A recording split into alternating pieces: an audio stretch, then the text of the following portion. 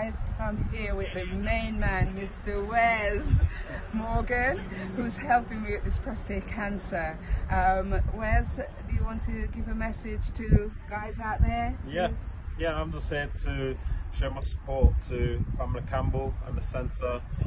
We want to, you know, kick out prostate cancer basically and do whatever we can to raise awareness, let people know that they need to get checked, and hopefully we can catch it before anything disastrous strikes. So yeah, it's um, it's all about raising awareness, and I'm here to show my support.